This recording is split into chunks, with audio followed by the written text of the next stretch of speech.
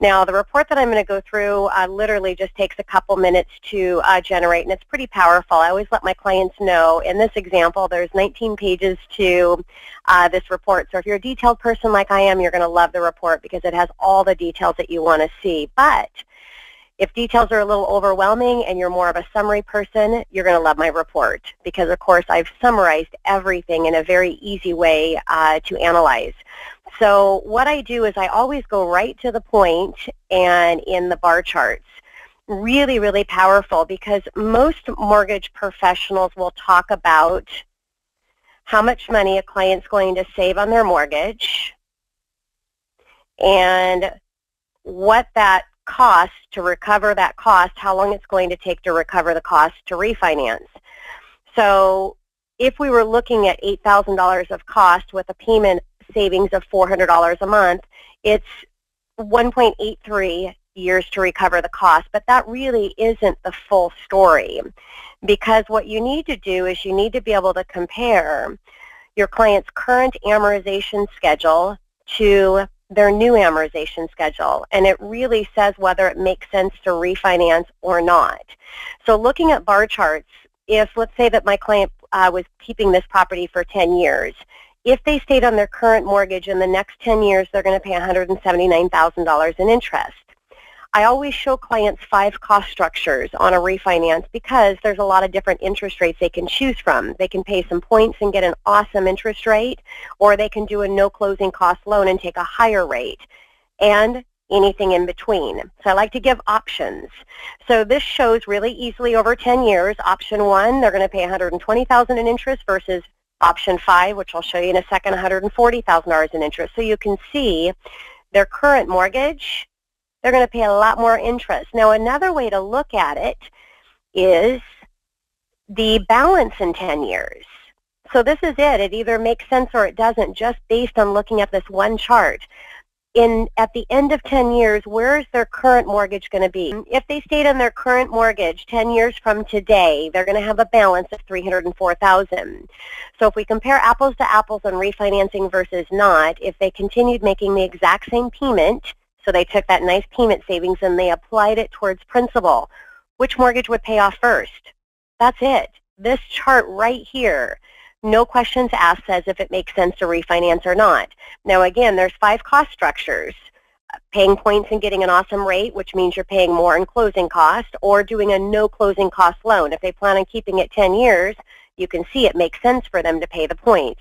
See the difference between keeping their current mortgage going on a new mortgage and making the same payment as they're required to make today. Now, whether or not a client's going to take that payment savings and apply towards principal, it's ultimately up to them. But what my job is, is just to give a comparison of apples to apples.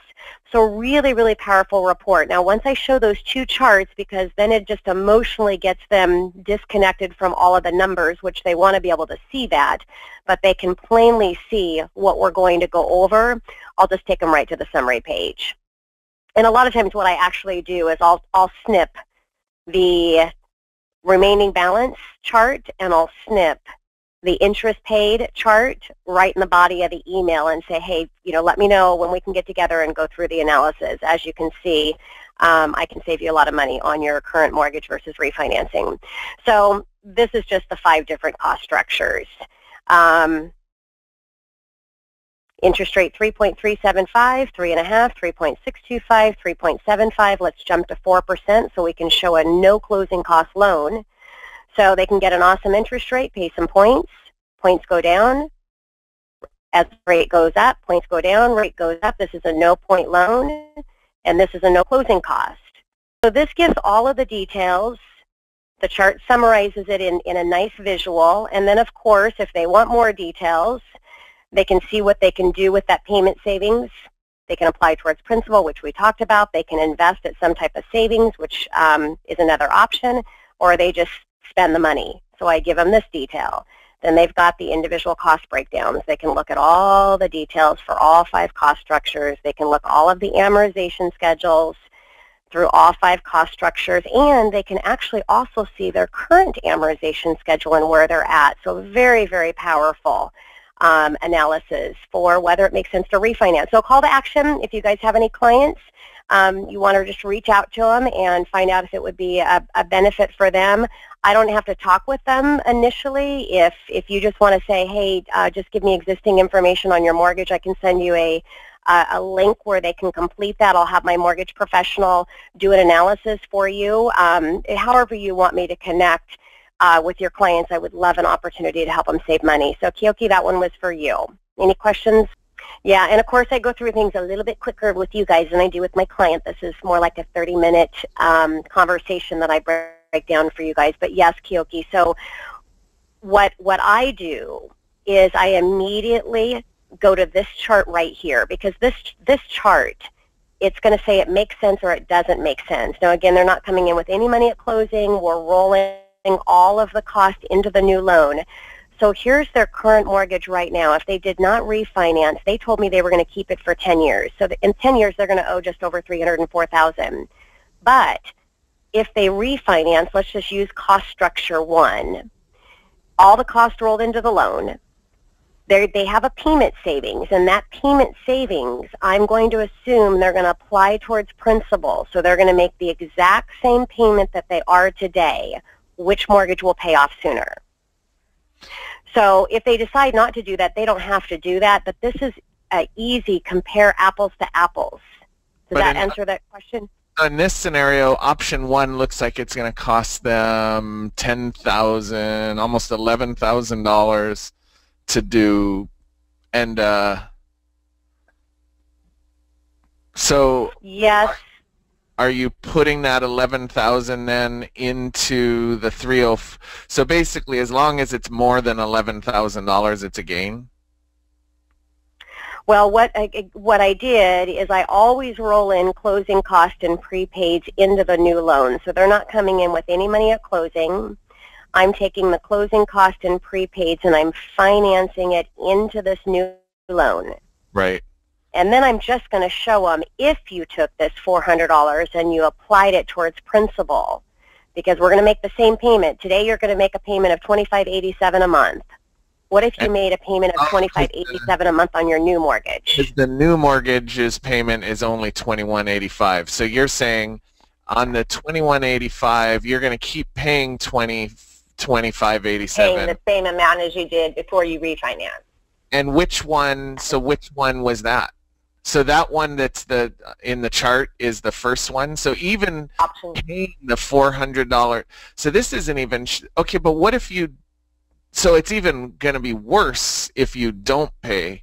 So this is basically that chart you're showing is a chart that shows if you paid extra. So so it's super better.